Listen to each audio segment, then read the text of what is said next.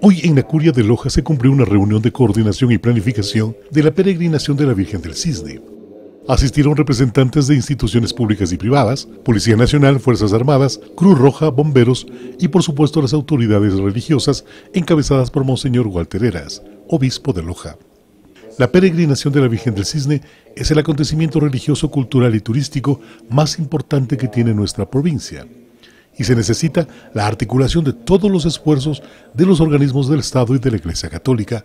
Se trata de defender una costumbre religiosa como un acto de fe y como un dinamizador de la economía provincial.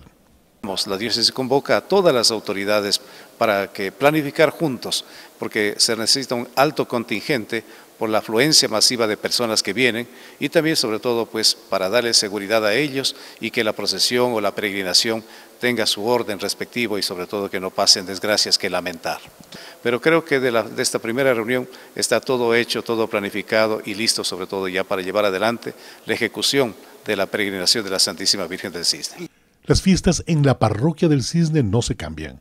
El 29 de julio iniciarán con el pregón. Luego se oficiarán novenas, Eucaristía cada dos horas, tanto en la Basílica como en el Campo Mariano, procesiones y actividades culturales de acuerdo a un calendario de fiestas preestablecido. Que la información también ya se está avanzando a, todo, a todos los ciudadanos, tanto a nivel de Ecuador y a nivel internacional, porque esta romería influye a todos. Como se ha hecho en los últimos años, la imagen de la Virgen del Cisne durante su estadía en la ciudad de Loja solo estará en la iglesia de la catedral. No se moverá a ninguna parroquia. Bueno, por situaciones primero de seguridad de la imagen, luego también por conservación de la imagen y también para dar a entender que la iglesia catedral es la iglesia matriz, la iglesia madre de toda la diócesis. Entonces ahora, en vez de que la imagen vaya a las parroquias, las, las parroquias o los fieles de las parroquias vengan para visitarle a la Virgen que estará pues en la iglesia madre. Edison Sánchez, Mundo Visión.